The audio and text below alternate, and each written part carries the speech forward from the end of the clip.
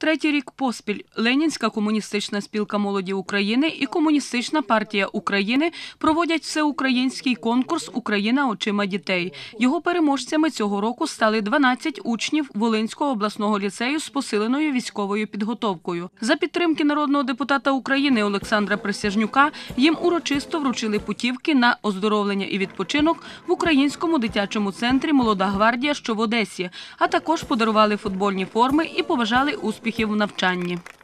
Я хочу подякувати від всіх соціально захищених дітей, що е, ну, за ці путівки, за ці е, футбольні форми. І м, хочу е, сказати, що будемо виправдовувати вашу довіру і будемо вести себе належним чином е, там, в Одесі. Дозвольте мені подякувати, по-перше, е, Балинському комсомолу за ту турботу, яку вони проявляють по відношенню до наших дітей.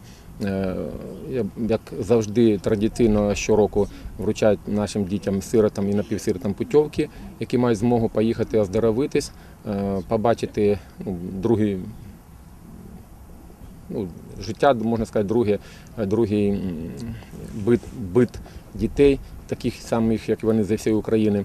Як і в минулі роки, Волинь має найбільшу кількість переможців. Усього з нашої області поїхало відпочивати в Одесу 22 дитини. З них 10 дітей-сиріт, інші з малозабезпечених сімей.